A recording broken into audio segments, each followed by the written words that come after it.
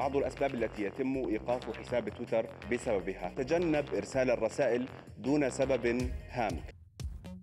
وصول ضيوف مميزين جدا من مجرة بعيدة إلى الأردن. ما الذي يدفع لسرقة لوحات فنية هدفها إيصال رسائل إنسانية؟ كانت صوت فلسطيني من داخل مؤسسة دولية مثل محكمة الجنايات الدولية. وصل سعرها إلى أربعين ألف دينار كويتي.